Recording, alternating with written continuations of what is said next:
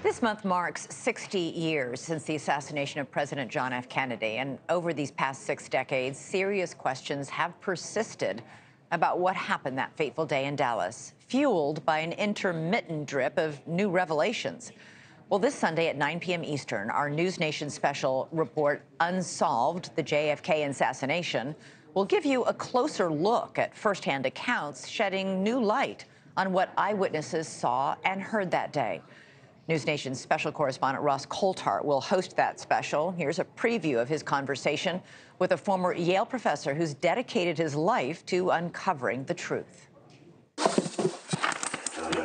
For 60 years, Josiah Thompson has investigated that key question who killed JFK? It was much easier to, to simply say Oswald did it, but he couldn't have done it. Thompson, a former Yale professor, has spent decades digging into the evidence, literally writing the book casting doubts on the government's official lone gunman theory. Thompson says the evidence he's gathered proves the fatal shot came from the grassy knoll. Before retiring in 2011, Thompson worked as a private investigator for 35 years, including on high profile criminal cases like the Patty Hearst kidnapping and the Oklahoma City bombing trial. And this Sunday, in our News Nation special report, he reveals whether he believes the government conspired to kill the president. Well, I'm sure that if the government wanted to reinvestigate the case, they would end up with the scenario that I've ended up with after 60 years of being with this case.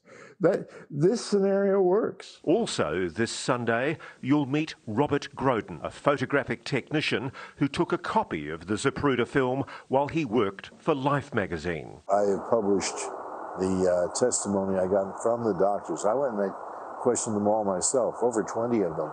Every single one of them said that the shot came from the front. How did they come to that conclusion? Because the exit wound was in the back of his head. To this day, he takes his research and theory very literally out in the open. Many weekends, you can find him selling books and videos on the infamous grassy knoll. Do you believe there was a, an active collusion by the Warren Commission members to suppress evidence that suggested a second shooter? Without question. And News Nation's special correspondent Ross Coulthart joins us now. Hey, Ross, you know, it's incredible that 60 years later, there has still been so, there's so many people who were there that day who still have questions about what happened. Hi, Elizabeth. Yes, you're right. And the thing I find most extraordinary about this case, I've always been fascinated with the JFK case from Australia, where I first lived. And the thing that strikes me about it is when you look at the evidence, when you look at the number of witnesses, you know, there were 88 people, possibly as many as 100, who say that they saw smoke or heard shots from the grassy knoll. Most of them weren't interviewed by the Warren Commission. They weren't brought up before the Warren Commission. And there is a lot of evidence that the official government inquiry didn't investigate at the time.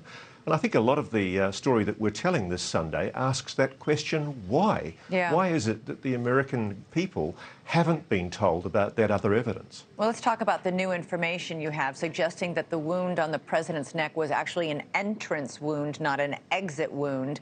If true, how does that change everything? Oh, it's basically what it means. If, if it was an entrance wound, it means that there was at least one other shooter on the grassy knoll because that's where it's very likely that shot came from. And I do think, personally, the evidence is compelling. It's quite extraordinary witnesses saw puffs of smoke on the day, but I, I, think the thing that really clinched it for me recently was talking to the Secret Service agent, now retired, Paul Landis, who was literally on the limousine running board in the car behind the president. He saw the president's head explode as he was hit by a bullet. And the confronting and shocking thing is that his recollection is that the shot came from the front left, i.e., from the grassy knoll. Thanks so much for watching. Go to joinnn.com to find News Nation on your television provider. And don't forget to click the red subscribe button below to get more of News Nation's fact driven, unbiased coverage.